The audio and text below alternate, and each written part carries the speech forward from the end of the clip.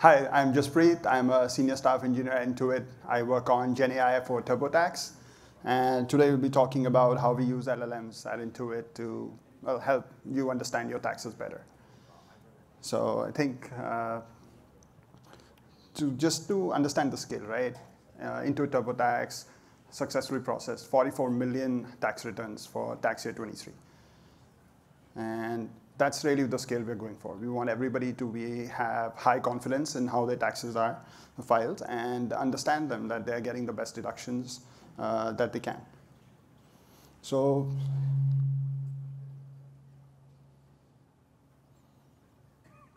So this is the experience that we work on. So uh, you go into TurboTax, you uh, enter your information, then you go through what credits you are eligible for and so on. And we basically help you expand, uh, expand onto how you are getting the tax breaks that you are, help you understand them better, uh, and so on. And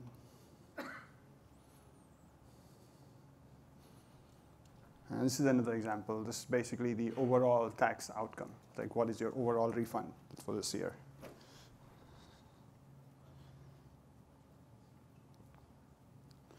Now, Intuit's GenAI experiences are built on top of our proprietary GenOS. That's the generative AI OS that we have built uh, as a platform capability. And it has a lot of different pieces uh, that you see over here. Uh, the key goal is that we found that a lot of the GenOS tooling that comes out of the box is not supporting all our use cases. We want to, most prominently working in tax, we are in the regulatory business, uh, safety, security, uh, is very, very important. So we want to focus on that. At the same time, we want to build a piece that a company at the scale of Intuit can use end-to-end, -end, a really large scale. So that's where GenOS comes in. We have different pieces. There's on the UI side, which is the GenUX. Uh, then there's Orchestrator. That's basically the piece where different teams are working on different components, different pieces, different LLM solutions. How do you find the right solution to answer the right question? And uh, Intuit calls uh, the entire experience that we power through this Intuit Assist. So I'm going to deep dive into specific pieces that our team used to build out uh, the experience for TurboTax. So as I said earlier, right, we have millions and millions of customers who are coming in. So we're trying to build a scalable solution that can work end to end. So on the slide here, I'm basically going to talk about different pieces that are powering the experience. Uh, of course, to begin with, the first iteration was the prompt tooling, uh, basically a prompt-based solution to try and go through uh, what's your tax situation going on. Let's take an example of what I was showing earlier, which was your tax refund. So your tax refund has many constituents. These are your deductions, these are your credits, standard deduction, W-2 withholding, and so on. So we want to make sure that you understand all of that. So we built a prompt-based solution around it and work from there. The production model that we went with is Claude uh, for this use case. Uh, Intuit is one of the uh, biggest users of Claude. We had a multi-million dollar contract for this year as well. And you'll also see OpenAI over there. So OpenAI is where we used for other question and answering. So you'll see on the slide, we're talking about static and dynamic type of queries. So uh, static queries would be, you know, what I was showing earlier, that we know you are looking at your summary, you want to see what happened uh, overall. So that would be a static prompt. Think of it like a prepared statement. Uh, however, the additional information that we're gathering is the tax info when the user comes in. Now, uh, dynamic query would be users have questions about their tax situation. You know, can I deduct my dog? Well, you can't, but uh, you can try. So things like that, that's what we're trying to uh, answer more dynamically. Uh, OpenAI's GPT-4 Mini had been the model of choice for until a few months ago. We're now iterating on the newer versions. Of course, models change every year, uh, every month, I should say. Uh, so uh, we're trying to focus on that. Uh, same for the dynamic piece again. Another important uh, aspect is, you know, tax information. IRS changes forms every year. Uh, Intuit has proprietary tax information, tax engines that we want to use. So we have RAG-based and, of course, graph RAG-based solutions around it as well. So they help us uh, answer users' questions much better. And uh, one thing that we also piloted recently was actually having a fine-tuned LLM. So uh, we went with Claude because that's the primary one we are using there, and we stuck to static queries and we tested it out. And uh, it does well. Uh, it definitely does well. Uh, quality is there. It takes effort to fine tune the model. Uh, however, we found that it was a little too specialized in the specific use case. And one thing I want to highlight, I'll deep dive further on, is evals. So you want to make sure that we evaluate everything we do. Um, you want to make sure what's happening in production. You want to make sure in the development life cycle, you're doing everything you need to do to make sure that you have the best prompts out there. Uh, and with that, moving on to the next slide. So to summarize a little bit, you know, these are the key pillars that we have. I already spoke about some of them before. I want to highlight here that at the bottom part in this slide, actually, the human domain expert. So uh, Intuit has a lot of tax analysts that we work with, uh, of course, that, are our, uh, that work with us, uh, decoding IRS changes year over year, making changes, and so on. So they are the experts that provide us the information, uh, make sure the evaluations are correctly done. So we have a phased evaluation system. We have manual evaluations initially in the development lifecycle. Um, and another thing that we have done is actually using the tax analysts as the prompt engineers. So that allows us, the folks in data science and ML world, to actually focus on the quality, defining the metrics, uh, making sure we have a nice data set that we can iterate on and test on. Uh, as we go along, as I said, models change. We want to try out different models. We want to see uh, the laws change in the IRS, say tax year 23 to 24, what happened, uh, so those changes. So we focus on that. Uh, and human experts bring their expertise and are able to both help with prompt engineering and get the initial evaluations done. That then becomes the basis for automated evaluations. Um, LLM as a judge is what we use as well. Uh, I'm going to talk a little bit more about that. I'm going to take, uh, going back then to what I was turning earlier about the Claude 3 Haiku and fine tuning. So uh, fine tuning as part of GenOS, we built out a lot of tool sets. Uh, one more thing that we want to do is support fine tuning. So for our use case, we actually stuck to just fine tuning on Claude 3 Haiku, powered by AWS Bedrock. And the goal there was that we wanted to see if we can actually improve uh, the quality of responses. Uh, biggest driver, of course, is uh, fewer instructions are needed once you have fine-tuned a model. We want to make uh, Latencies are a big concern, so we want to see if we can squeeze down the prompt size and at the same time keep the quality uh, that we need and keep going there. So this is roughly what it looks like. We build out, uh, we have different test AWS accounts, different environments uh, that are provided by the platform teams that we work with. We look at the data and uh, brief not to regulations, uh, 7 to six, uh, 16 regulations. So we only use consented data from users, uh, make sure uh, we're on the right. And uh, just to double down on the evaluation part, right? You want to evaluate everything. So the key pillars are accuracy, relevancy, and coherence. So we have both manual and automated systems. We also have broad monitoring automated systems. Basically look at sample data, uh, on what the LLM is basically giving real users in real time.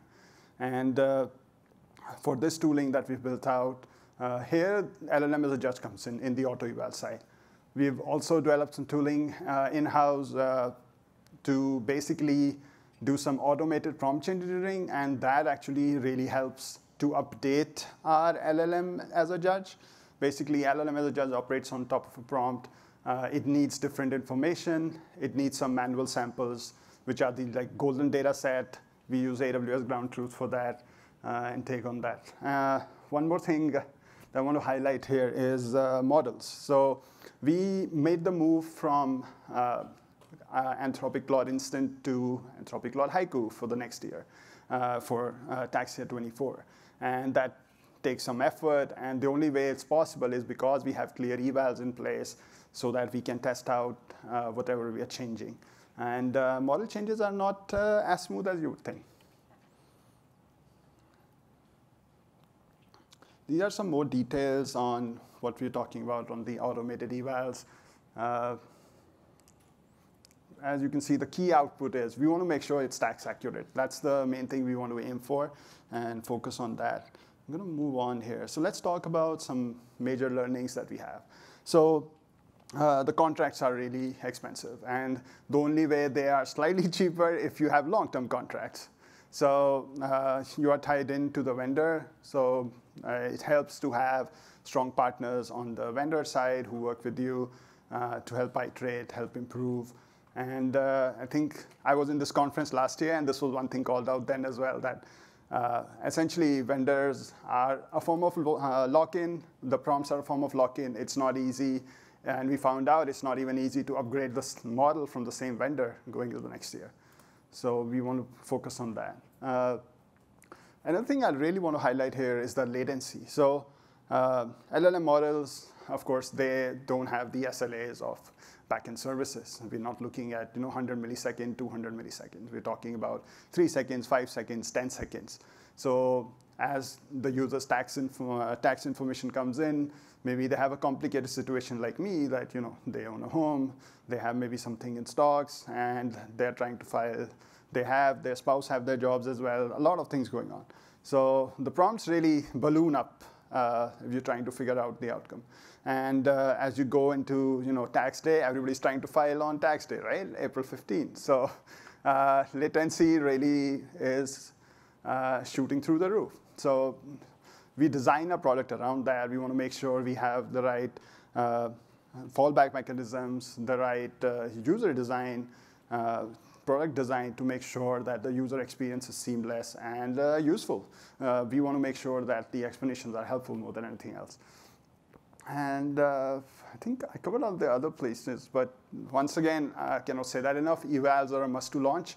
focus on evals, make sure you have clear guidelines on what you're building, have clear golden data set. I've heard that from other talks as well. That's really a key point. Uh, that's all. I'm going to pause here for questions. Uh, if you're going to be asking questions, please come to one of the microphones so that we can capture the audio. Thanks. Yeah, hi. Um, you said uh, evaluate everything, right? right. But uh, with Gen AI systems, there could be you know very small changes, right? You make yes. a small change to a prompt, and evaluations can get very expensive or slow down your whole sort of development process, right? So maybe could you dive a little bit deeper into like when do you bring in different types of evaluations? Are there are there anything that you just say uh, we ran some regression tests and it looks fine, so you launch, or do you always go kind of with the expert sure, sure. Uh, thank you for the question.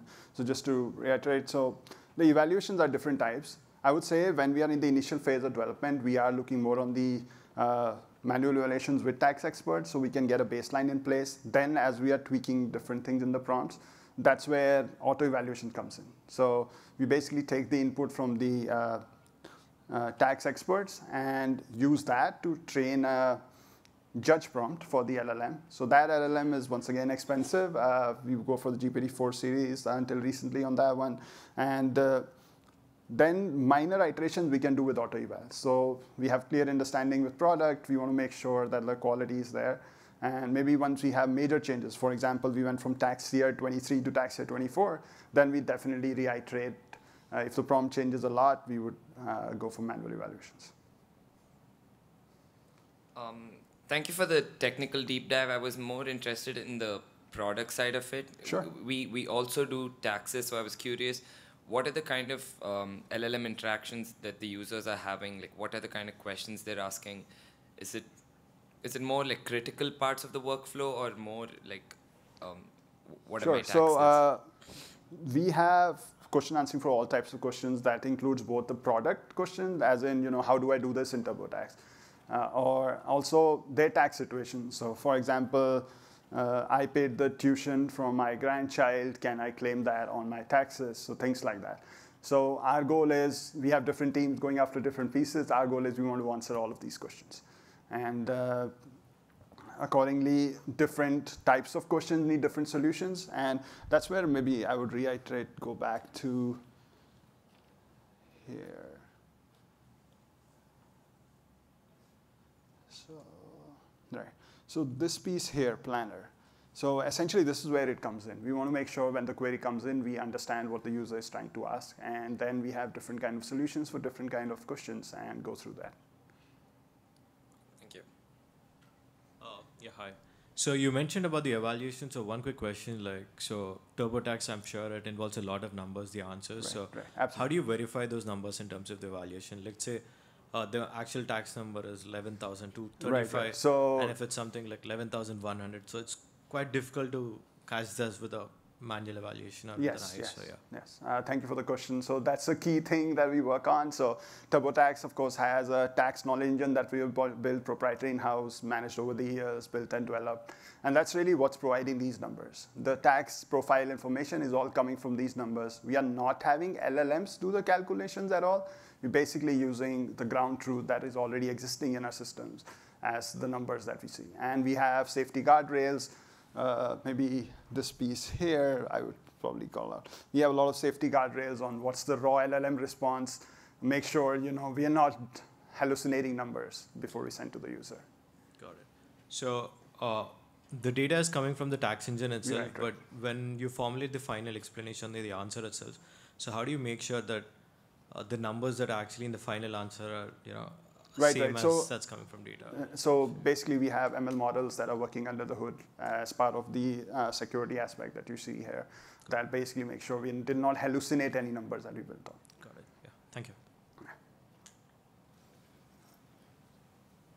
Um, could you give an overview of how you use both just a traditional RAG and graph RAG, like a hybrid, in your workflow? Sure, sure. So uh, And, and sorry, one more question is, now with the new model Claude 4 coming out, do you think the fine tuning might be getting easier or needs needed?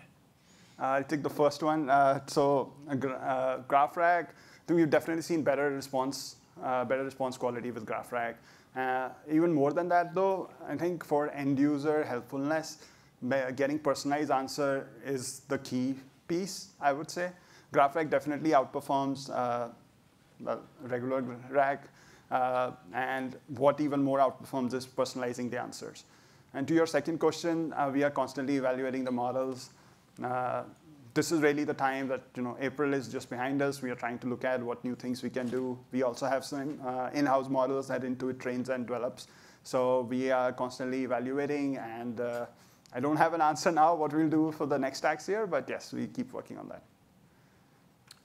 Uh, you mentioned uh, you have different situations, tax situations, and you come up with an answer. So if I describe my situation and it's complicated and it comes up with an answer, is that answer being generated using the LLM, or is it going back to the tax engine? And how do you explain how you came up with that answer? And I, I assume there's going to be a lot of legal challenges to a right, wrong right, answer. right, right. Absolutely. I mean, uh, Intuit focuses heavily on legal, legal and privacy uh, controls. So the solution for this one, right, what we worked on here, this is specific, this is more of the static variety of questions. So once again, what I was saying earlier, the inherent numbers are coming in from tax knowledge engine. And we have tax experts who actually crafted these prompts. So they're specifically tested for each piece that you see here. So that's basically when we do the evals, we make sure it doesn't happen what you're suggesting. Okay, great. Thanks. Uh, thank you so much. What a great talk.